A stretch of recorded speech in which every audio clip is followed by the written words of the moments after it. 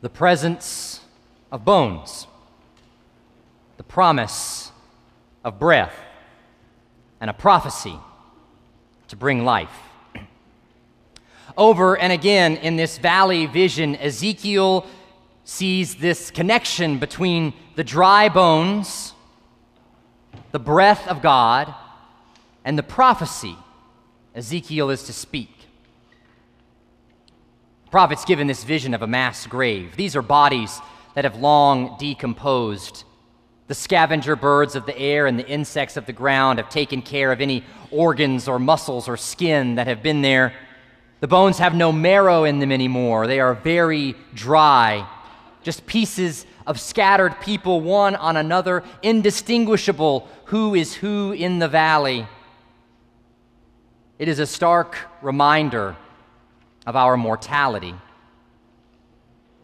I'm reminded of that famous scene in Shakespeare's Hamlet when, when Hamlet and his friend Horatio come upon a gravedigger at night who has just recently unearthed a skull. The gravedigger reveals to Hamlet that the skull belongs to Yorick. Yorick was the jester of the king's court, and Hamlet, being the prince of Denmark, had known Yorick as the jester to his father, the king.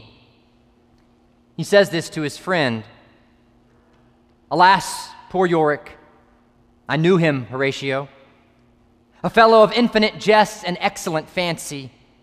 He hath borne me on his back a thousand times, and now, how abhorred in my imagination it is, my gorge rises at it. And he takes the skull in his hand. Here hung those lips that I kissed I know not how oft. Where are your jibes now? Your gambols, your songs, your flashes of merriment that were wont to set the table on a roar. Such is death. In death, all we are is over, and we are but bones.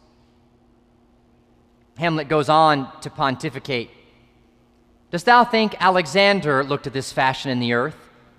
He's talking about Alexander the Great a king's jester, a great warrior and conqueror. At the end of their days, they're the same nothing but bones. Hamlet then ponders how after we die and we're buried, our bones themselves turn to dust, to dirt, so that even the bones of Alexander the Great might have been taken up and used into a stopper for a beer bottle the remains of the great Julius Caesar to plug a hole in the wall to stop the wind. Death is the great equalizer. We are all bone the rich and the poor, the happy and the sorrowful, the wealthy, the mighty, the lowly. God shows Ezekiel this scene of ultimate death, the end, lifelessness, and decay, not even identifying features of individuals anymore. And God asks the prophet, Mortal, can these bones live?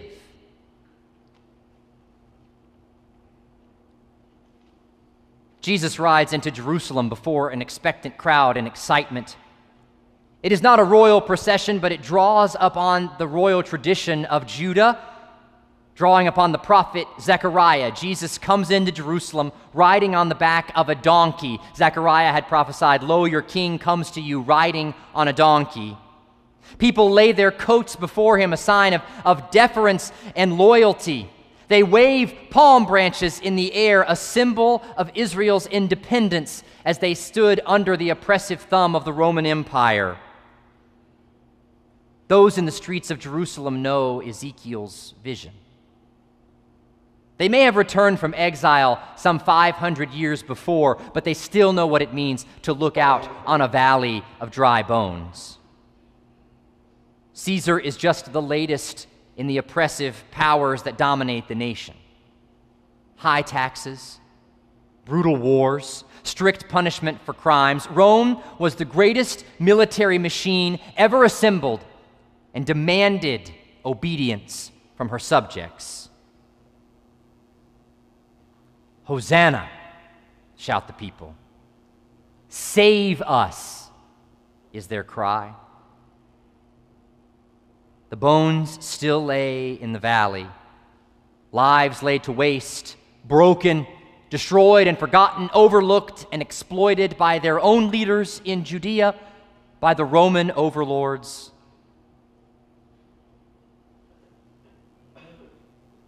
Mortal, can these bones live? That's the question that God asks Ezekiel in the midst of exile. Oh Lord God, you know, he replies. Ezekiel's wise enough not to offer a sure response, for who knows the mind and ways of the Lord? And then there's this promise from God. It is a promise of breath. God's breath is going to enter these bones and they will live. Because it is God who gives life.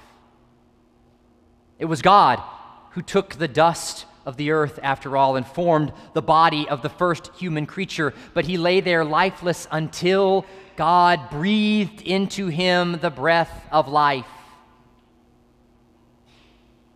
When God's people were leaving slavery in Egypt and they came to the Red Sea, God caused a mighty east wind to blow the water aside so the people could cross on dry land from slavery into freedom. When those same former slaves were wandering in the wilderness and they were hungry, a wind went out from the Lord and it brought quails from the sea the presence and power and spirit of God, the breath of God, the wind of God eventually moves the psalmist to cry out, Where can I go from your spirit? Even in the presence of bones, when life is gone, evaporated, hopeless, and dead, there is still a promise of breath. It's not what Ezekiel can do or even envision. It's not what the people can do by their might or their ingenuity or their faithfulness or their creativity or their hard work. The people are nothing but bones. But God? God can breathe life even into those who have no hope, no life, no future, no willpower, no strength to go on. God's promise of breath comes to those who've given up on life entirely, those without family or friends, those without work or, or any kind of security, those who grieve, and those who are numb, who just can't feel anything anymore, neither joy nor sorrow. I will put my spirit in you, and you will live. You, the bones, don't have to do anything. The Spirit, the wind, and the breath of God simply enters you in your decay. The breath of God comes to us, and that breath brings unexpected and unpredictable life.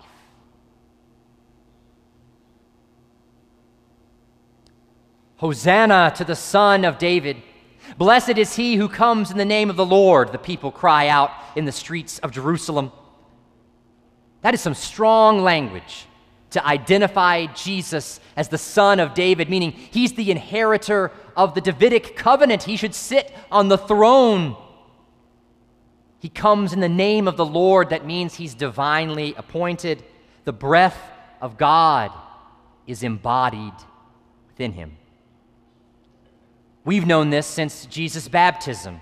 When the heavens parted and the Spirit of God descended on him like a dove, and the voice said, This is my Son, the beloved, with whom I am well pleased. The promise of the breath of God has entered the holy city.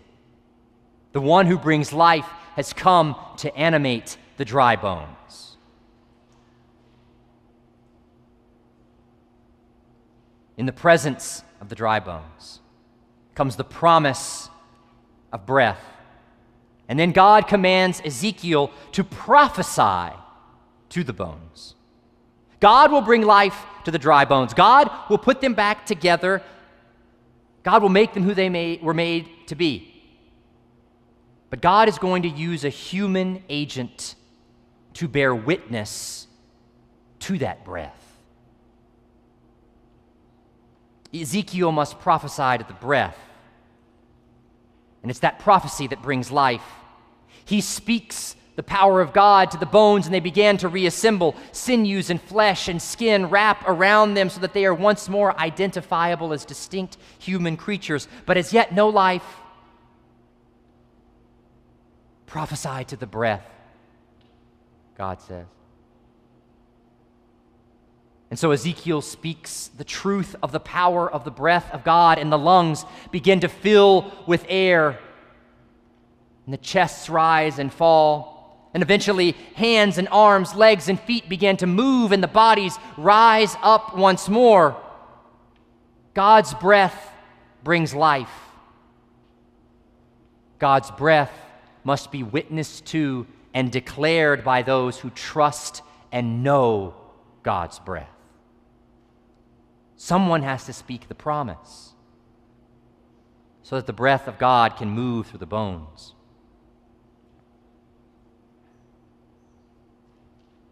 The people of Jerusalem see the valley of bones, tossed into graves by the oppressive power of the empire. They anticipate that Jesus is the breath of God among them, the promise of breath among them now. But this is where the hope of Ezekiel and the desire of the people in Jerusalem diverge. As the week progresses, we see that Jesus is not going to be the leader who rises up and overthrows the oppressive Roman dictators to establish a new Davidic monarch on the throne. He's not going to replace one form of oppressive power with another human king who will just grow corrupt like every other human king. There is a far greater and more sinister force at work in the world, those twin powers of sin and death. And as long as humankind decides to organize ourselves around the powers of sin and the coercive power of death, then we'll never know life and peace. That's the message Jesus comes to proclaim. We see then the people have the breath of God among them in Jesus, but they cannot prophesy to the breath. They want the life that they know as life. They want the breath to breathe upon them on their terms to bring wholeness and goodness. We can change that pronoun out pretty easily, right? It doesn't have to be they and there, it can be us and we. We want God to speak into our lives on our terms, to bring wholeness our way.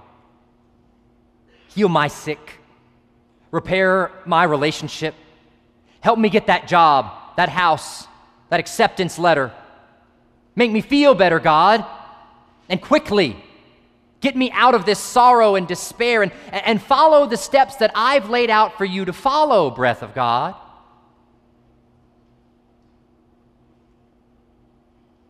The frustration that God's breath will not be controlled by us prevents our prophesying to it.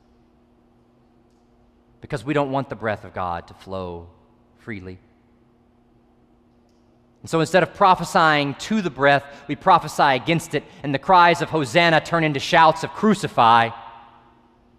We prophesy against the breath. We will lay eternally in the valley of bones if it's up to our own will whether or not to receive the breath of life. So while Ezekiel has the presence of bones, the promise of breath, and the prophecy to bring life, we see in this holiest of weeks the breath of God extinguished and turned into the presence of bones hung on a cross and laid in a tomb and the world turns dark. Those who were called to prophesy to that breath, they flee in terror. And the lead disciple who said he would never give up on his Lord denies that he'd ever known the breath of God. Those who were called to prophesy to the breath run away and hide.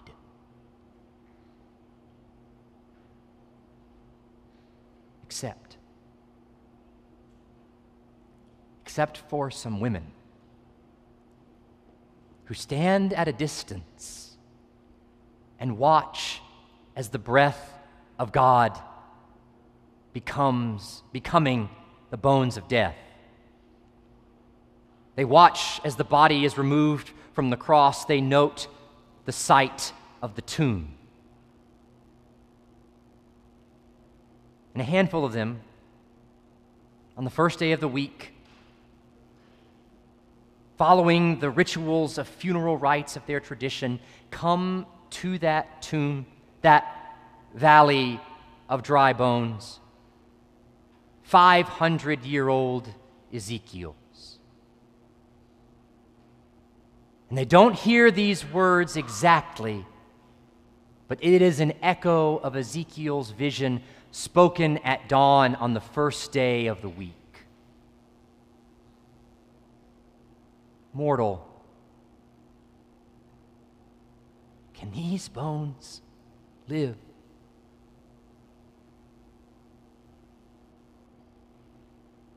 Prophesy, prophesy to the breath.